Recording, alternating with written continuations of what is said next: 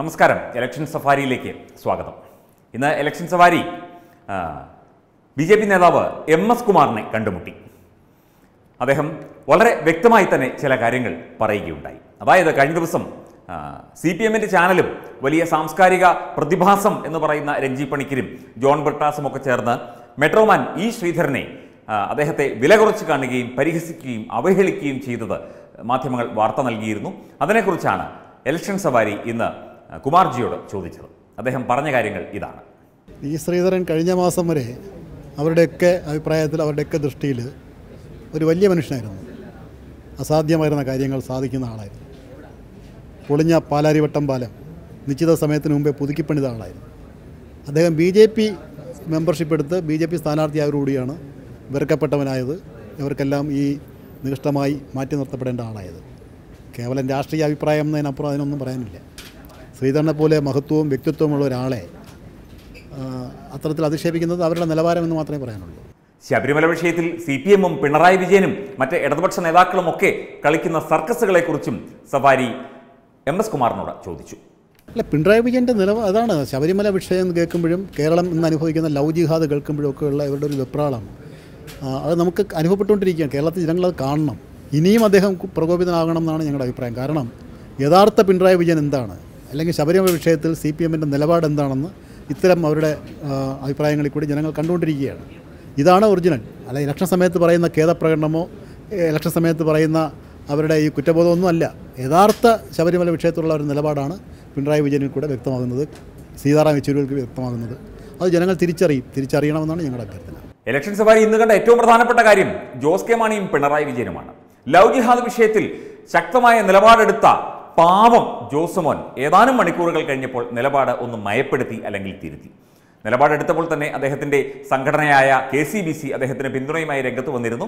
അതിനുശേഷം പിണറായി വിജയനെ പേടിച്ച് മുട്ടടിച്ച് മൂത്രമൊഴിച്ച് ജോസ് കെ മാണി നിലപാട് ഒന്ന് മയപ്പെടുത്തിയിരിക്കുന്നു.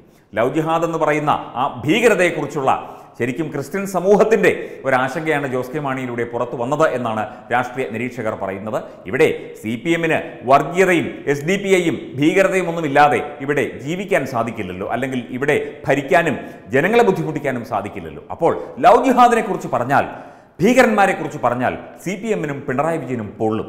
ജോസ് കെ മാണിക്ക് നേരെ കണ്ണുരുട്ടും. ഈ കണ്ണുരുട്ടൽ കാഴ്ചയാണ് ഇന്നത്തെ ഏറ്റവും പ്രധാനപ്പെട്ട കാഴ്ച. പിന്നെ വ്യാജവോട്ട് അത് അടുത്ത കാഴ്ചയാണ്. വ്യാജ വോട്ടുമായി ബന്ധപ്പെട്ട് ഹൈക്കോടതി വ്യക്തമായി നിർദ്ദേശം കൊടുത്തിട്ടുണ്ട്. അതുപോലെ ഇരട്ട വോട്ടും വ്യാജ വോട്ടും ചെയ്യുന്നവരെ നിയന്ത്രിക്കാനായി കേന്ദ്രസേന വേണമെങ്കിൽ വരണം എന്ന രീതിയിലുള്ള നിർദ്ദേശമാണ് ഇലക്ഷൻ കമ്മീഷന് കൊടുത്തത്. പിന്നെ വേറൊരു കാര്യം കൂടിയുണ്ട്. തദ്ദേശ സ്വയംഭരണ തെരഞ്ഞെടുപ്പിൽ ഈ വോട്ടർ പട്ടിക തന്നെ ആയിരുന്നു. ഏതാണ്ട് ഈ വോട്ടർ പട്ടിക തന്നെ ആയിരുന്നു എന്ന് റിപ്പോർട്ടുണ്ട്. അപ്പോൾ ഈ ഇരട്ട വോട്ടും വ്യാജ വോട്ടും ഒക്കെ ചേർത്ത് വെച്ചുകൊണ്ടല്ലേ സി പി എം പല സ്ഥലങ്ങളിലും തദ്ദേശ സ്വയംഭരണ തെരഞ്ഞെടുപ്പിൽ ജയിച്ചത് എന്ന സംശയം ഇലക്ഷൻ സവാരിക്ക് തോന്നിയാൽ അത് കുറ്റം പറയാൻ സാധിക്കുമോ?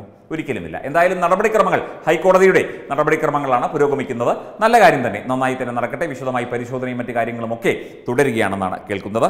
പിന്നെ കോൺഗ്രസ് ബി ജെ പിയിലേക്ക് ഒഴുകുന്ന ഒരു നദിയാണെന്നാണ് സി പി എം സംസ്ഥാന സെക്രട്ടറിയുടെ സ്ഥാനം വഹിക്കുന്ന എ വിജയരാഘവൻ സഖാവ് പറയുന്നത്. സഖാവിന് അതിപ്പോഴെങ്കിലും മനസ്സിലായല്ലോ. നല്ല കാര്യം. എന്തായാലും സി പി എമ്മിൽ നിന്നും ബി ജെ പിയിലേക്ക് ഒരു നദി ഒഴുകുന്നുണ്ട്. അല്ലെങ്കിൽ കുറേ നദികൾ ഒഴുകുന്നുണ്ട് എന്ന കാര്യം വിജയരാഘവൻ സഖാവിന് മനസ്സിലായോ എന്നറിയില്ല. എന്തായാലും കോൺഗ്രസിൽ നിന്നും സി പി എമ്മിൽ നിന്നുമൊക്കെ ബി ജെ പിയിലേക്ക് നദി ഒഴുകി വരും. നദികൾ ഒഴുകി വരും. ബി ജെ പി ഒരു വലിയ സമുദ്രമാണ് എന്നുള്ള കാര്യം ചില സഖാക്കന്മാർക്കും കോൺഗ്രസ്സുകാർക്കും ഒക്കെ മനസ്സിലായിട്ടുണ്ട് എന്നതാണ് ഇതിൽ നിന്നൊക്കെ മനസ്സിലാകുന്നത്. പിന്നെ ഈ വർഗീയ വോട്ടുകൾ ഉറപ്പിക്കാൻ വേണ്ടിയുള്ള തത്രപ്പാട് സി പി എം നമ്മൾ നേരത്തെയും ഇത് പറഞ്ഞിരുന്നു. ഇതിപ്പോൾ പി സി ജോർജിന്റെ പ്രസ്താവനയാണ് വർഗീയ വോട്ടുകൾ ഉറപ്പിക്കാൻ വേണ്ടി മഹാരാജാസ് കോളേജിലെ അഭിമന്യുവിനെ കൊന്ന ക്യാമ്പസ് ഫ്രണ്ട് പ്രവർത്തകരെയും പോപ്പുലർ ഫ്രണ്ട് പ്രവർത്തകരെയും ഒക്കെ രക്ഷിച്ചെടുക്കാനുള്ള തന്ത്രം ഇപ്പോഴും തുടരുകയാണ് സി പി എം. അവർക്ക് വേണ്ട എല്ലാവിധ സഹായങ്ങളും അതായത് വർഗീയത തൊലയട്ടെ എന്ന് പറഞ്ഞ് ചുമരെഴുത്തുകളും പോസ്റ്ററുകളും ഒന്നും അല്ലാതെ പോപ്പുലർ ഫ്രണ്ടിന്റെയോ ക്യാമ്പസ് ഫ്രണ്ടിന്റെയോ ഒന്നും ഒരു പേര് പോലും